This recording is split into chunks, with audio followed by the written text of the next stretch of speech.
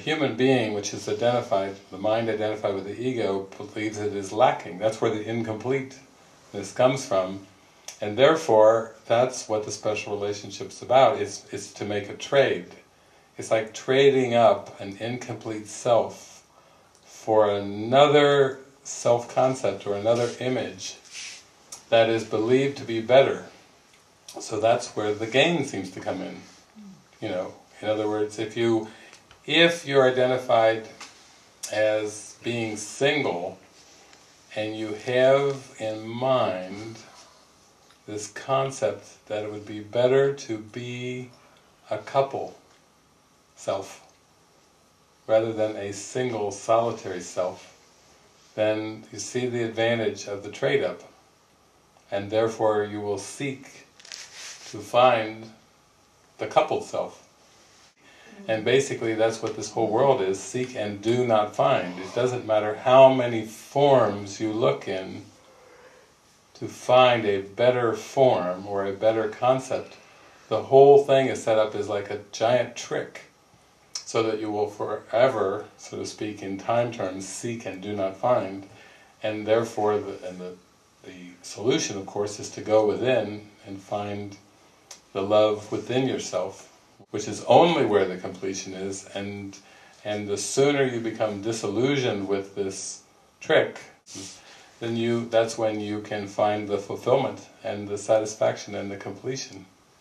Because it is a, an attempt to trade a defective or lacking self for a better self. Kind of like, some of you have seen the movie Jerry Maguire, uh, where Renee Zellweger has the comment, you complete me. Mm -hmm. You can always tell that when you're watching that movie with, with metaphysical students, they all go, ah, and the rest of the audience goes, oh. you can tell, you can tell, if you really want to see who's on the spiritual journey, oh, you know, it's, it's all based on the perception of, of the line, you complete me because because clearly, clearly, clearly, the teachings is that there you don't need to seek outside yourself for a partner, a friend, a person, a situation, or anything that will complete you. You have to find the completion within yourself. When we say within yourself, we, we're not talking about within the body, we're talking about within the mind. Because that's where the completion is. The completion is mind itself. Mind was created whole and complete, and when you get out into the fragmented images, that's where the problems start. So ultimately, what we're talking about is spiritual fulfillment. You know, must come. You have that mirroring, mirroring, mirroring, and then, as long as there seems to be a temptation for a form outcome, then that's where the the wholeness is not, not fully experienced because wholeness is complete contentment. There is no sense of even bonding with another in that wholeness, and so that's where the final wisp of, of illusion has to be given up. So he started feeling all this was being reflected back to him that he valued, and he loved being with her, and yet it got to the point where, you know, he said, until another man walked into the room and he would see her kind of turn and reflect, start to reflect what that man wanted. And then he got to the point where he was able to notice he didn't want another man to come into the room because of the competition aspect of there, as if she is one, he is one, two's company and three's a big crowd. Mm-hmm. you know, and and that was the the sense where where he was noticing perhaps that he wanted her all to himself, and again that still has aspects of of specialness to it until you come to realize that, that who I am, or the I am presence, is all, is all in all, and that there is no other. So it's beautiful. These movies kind of really get to the nuances of, of really getting more and more to that point of cleansing the mind, purifying the mind, purifying the heart completely of, of specialness. And that's the, the whole point of, of spirituality is, is to just sink deeper and deeper in the mind into a state of wholeness and completion which is in the mind. It's, there's no form to that state of mind. There's no form outcome.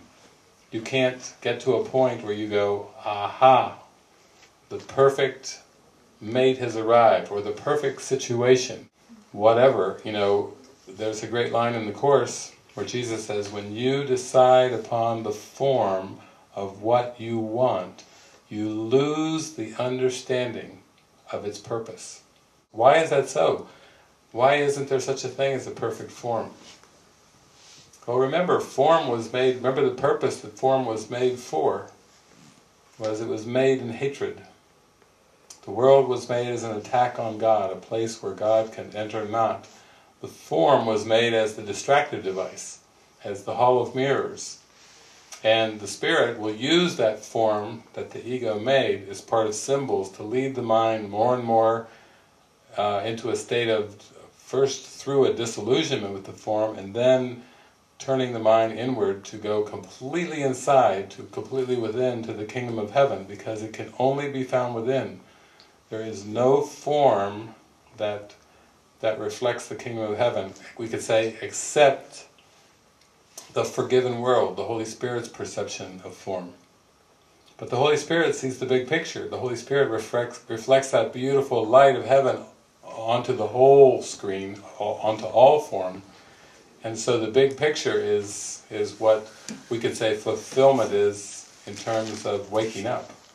Not a specific form. The specifics were made to deny the light, and whenever you think you've arrived at a specific where you go, got it, got it, finally achieved it, finally fulfilled it, you know, he says you will notice that you will not be fulfilled you will you may have a little glimmer of finally got the thing that I wanted, but you will soon find there's a disillusionment after that, and then the ego will say, well, keep seeking.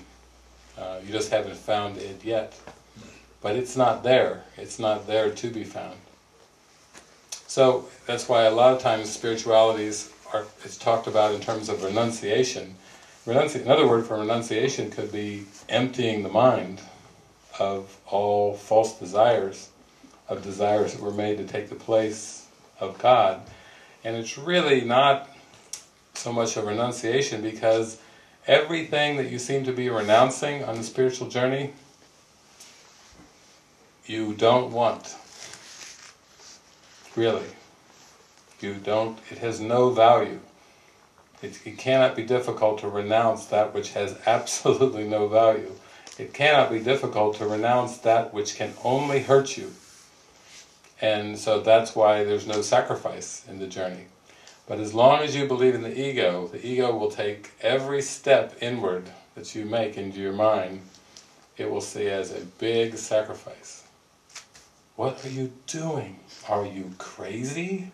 You're going to give up that, and that, and that, and that, and that, and that. With the ego made that and that and that and that and that as a way to distract the mind from coming inward and finding that fulfillment within. So it's really quite a, a beautiful opportunity, you know. Basically it's the the divine law is is as you sow, so shall you reap, and giving and receiving are the same, and what you give is what you get, obviously, because giving and receiving are the same.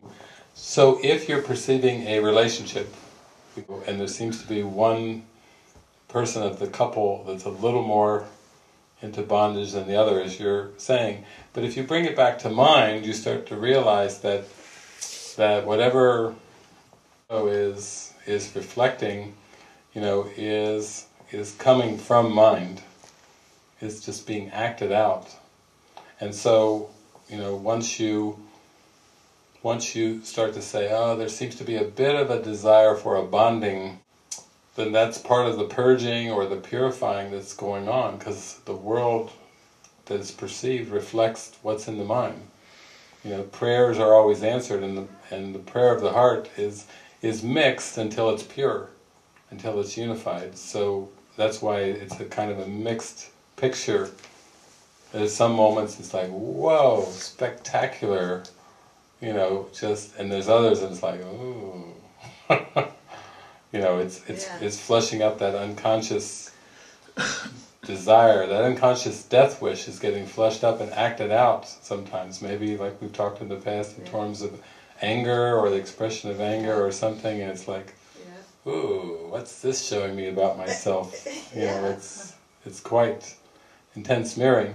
But but ultimately, you can't help but be grateful for that because in that sense, you know, the mirror is is helping you uh, with whatever was pushed out of awareness. It's helping you become aware of it. And then the more you become aware of it, the more you have that opportunity to really release it, to really face it and, and say, no, this is not my desire. I want the peace of God or I want peace of mind more than this. And so in that sense the mirroring is is serving that way. You know, you have to feel the gratitude of that. The movie uh, s- stated that really perfectly. Um, as far as the reflection of mind goes, he said, "Haven't I? I can't remember how he put it. Done everything possible to deter you from this continuing to come towards me." He said, "Yes, but you, some part of you must desire it. Yeah, Otherwise, it wouldn't be happening." yeah, Right. that was it. You do see that it's not so much what seems to be in front of you that counts, Yeah. but it's it's what purpose am I holding on to in my mind? You know, that's the crucial question. Right. because we're teaching what we would learn based on our purpose. So, you know, many times people have been put in what seem to be dire situations or difficult situations or challenging, and they mm-hmm. thrive